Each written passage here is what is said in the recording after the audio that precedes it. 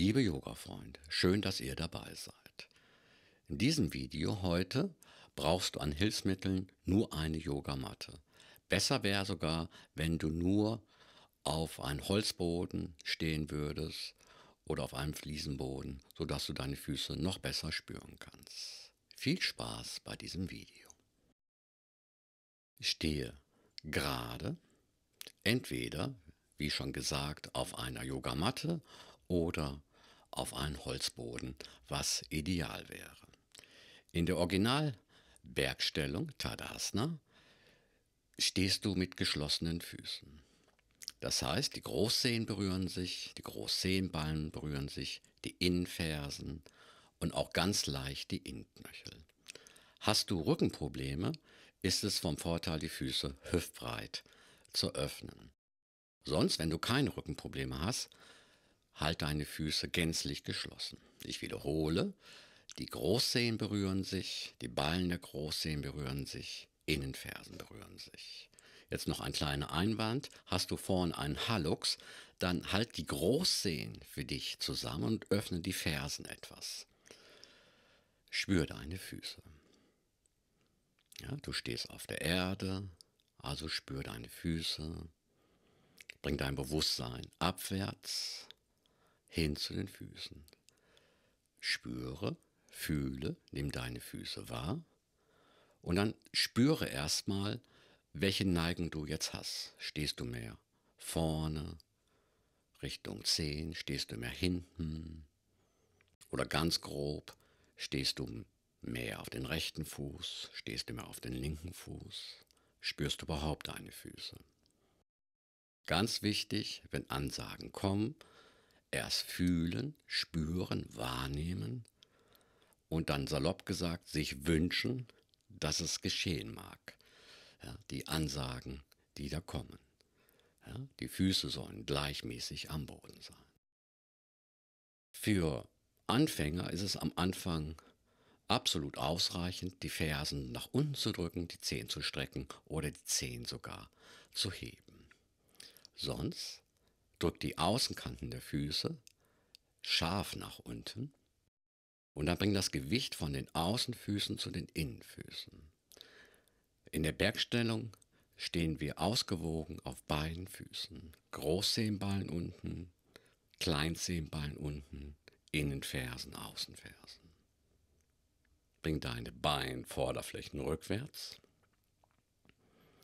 Streck die Arme, spreiz die Finger. Hebe Bauch, hebe Brustkorb. Halt die Finger gespreizt.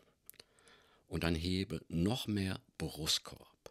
Die Schultern sind fixiert, wenn du weiterhin deine Finger spreizt. Atme ein, hebe Nacken, hebe Hinterkopf. Schau geradeaus. Deine Lippen weich aufeinander. Lass die Stirnhaut los.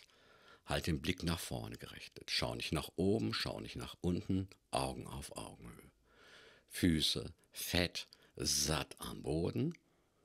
Bring die Beinvorderflächen zurück. Schienbeine, Kniescheiben, Vorderseiten, Oberschenkel und jetzt bring deine Sitzbeine, die Mitte der Sitzbeine, nach vorne, ohne dass du mit dem Becken und mit deinem Bein nach vorne fällst. Halt die Arme gestreckt, die Finger gespreizt, hebe Bauch, Brustkorb, Finger gespreizt. Du sollst eine Linie haben von der Mitte der Stirn aus runter hin zur Nase, über die Mitte des Kinns, über die Mitte des Brustkorbs, runter bis zu den Innenfersen.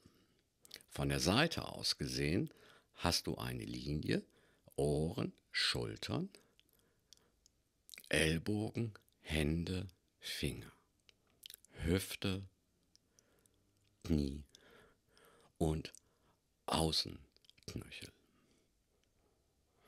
Atme normal ein und aus, gleichmäßig durch beide Nasenflügel.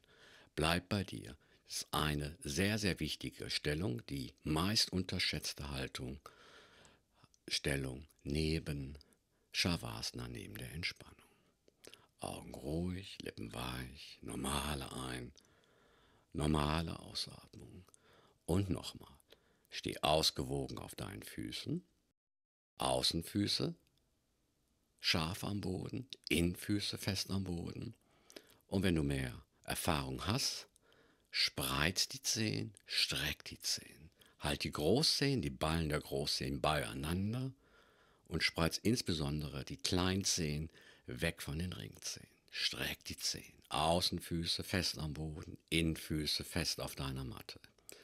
Also Großzehenballen runter, Kleinzehenballen runter, Außenfersen runter, Innenfersen abwärts.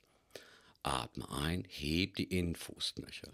Innenfußknöchel hoch, Innenoberschenkel hoch, Beinvorderflächen rückwärts, Sitzknochen bring vorwärts und halt die Beine währenddessen rückwärts. Schienbeine rück, saug die Kniescheiben einwärts, Oberschenkel fest, rückwärts, Gesäßknochen, vorwärts, abwärts.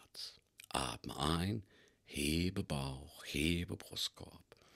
Und jetzt, um mehr Kontakt zum Brustkorb zu bekommen, verschränk deine Finger hinter deinem Gesäß, streck die Arme abwärts.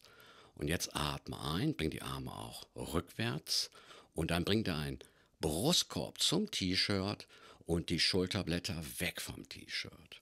Das ist eine Aktion, die du oft machen kannst, vor den Stehhaltungen, ja, um wirklich den Brustkorb zu öffnen, zu heben, zu weiten.